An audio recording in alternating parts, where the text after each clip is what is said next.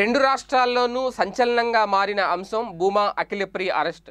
అది కూడా హైదరాబాద్లో బోయినపల్లికి చెందిన ఒక ముగ్గురిని కిడ్నాప్ చేశారంటూ ఆ వ్యవహారానికి సంబంధించి భూమా అఖిలప్రియను ఏ వన్గా ఎప్పుడైతే మార్చారో ఆ తర్వాత ఆ వ్యవహారం రెండు రాష్ట్రాల్లో కూడా సంచలనంగా మారింది. అలాగే ఆమె భర్త భార్గవరావు పరారీలో ఉండడం ఈ నేపథ్యంలోనే తాజాగా కోర్టు కూడా ఆమెకు బెయిల్ నిరాకరించడం పోలీసులు కస్టడీలోనే ఉంచడం వీటన్నిటి నేపథ్యంలో ఏం జరుగుతోంది?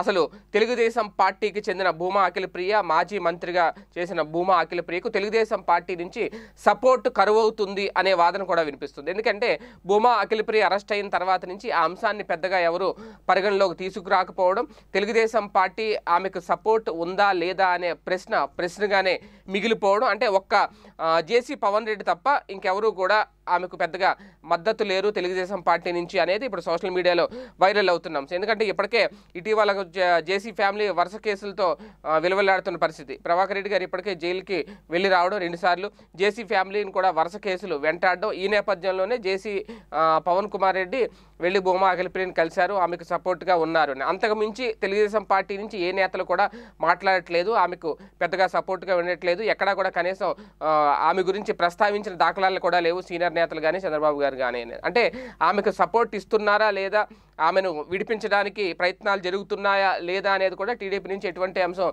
లీక్ కాకపోవడం. అంటే ఇక్కడ ఒక రకంగా ఎక్కువ వరుస కేసులతో మాజీ మంత్రులు ఇరుక్కోవడం ఏదో వ్యవహారంలో అందులోకి ఇది భూమికి సంబంధించిన తగాదా వ్యక్తిగత వివా వివాదం. ఎందుకంటే ఇంతకుముందు అచ్చెన్నాయుడు గారు అంటే ఏదో కుంభకోణం నేపథ్యం.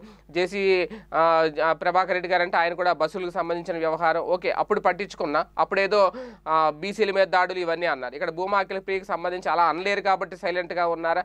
లేదంటే టీడీపీ నేతల మీద మాజీ మంత్రుల మీద వరుసగా కేసులు నమోదై అరెస్టులు అవుతున్న నేపథ్యంలో ఇప్పుడు తాజాగా భూమా అఖిలప్రియ కూడా గత కొద్ది రోజులుగా కాస్తంత రాయలసీమలో టీడీపీ తరఫున యాక్టివ్గా ఉన్నా సరే ఇప్పుడు ఎందుకు ఆమెకు సపోర్ట్ చేయట్లేదు అంటే ఇంకా అంటే పార్టీకి ఇలా అరెస్ట్లు అయ్యి చెడ్డ పేరు తీసుకొచ్చే వారిని పక్కన పెట్టే ఆలోచన చేస్తున్నారు నారా లోకేష్ చంద్రబాబు నాయుడు గారు అనేది కూడా ఒక వెర్షన్ వినిపిస్తున్న ఒక వెర్షన్ అంటే ఈ నేపథ్యంలో భూమా అఖిలప్రియని సస్పెండ్ చేసే అవకాశం ఉందా? ఒకవేళ ఆమెకు ఆమె మీద నమోదైన కేసు నేపథ్యంలో ఆమెకు బెయిల్ రాకుండా ఉంటే గనక ఇప్పటికే ఆమె బెయిల్ తిరస్కరించిన నేపథ్యం. ఒకవేళ ఆమె ఈ కేసుకు సంబంధించి ఏ వన్గా ఉన్నారు కాబట్టి ఈ కేసులో పూర్తిగా ఆమె హస్తం ఉంది అని నిర్ధారణ అయితే గనక ఖచ్చితంగా సాక్ష్యాధారాలతో నిరూపించగలిగితే గనక తెలుగుదేశం పార్టీ ఆమెను పార్టీ నుంచి సస్పెండ్ చేసి ఆమె పా పార్టీ నుంచి వేటు పడే అవకాశం ఉందా అనేదే ఇప్పుడు ప్రధానంగా వినిపిస్తుంది. ఒకవేళ అదే కనుక జరుగుతుందేమో అందుకే ఎవరు ఆమెకు సపోర్ట్ చేయట్లేదు ఆమెకు మద్దతు ఇవ్వట్లేదు టీడీపీ నేతలు ఎవరు ముందుకు రావట్లేదు ఈ విషయం ప్రస్తావించడానికి అనేది కూడా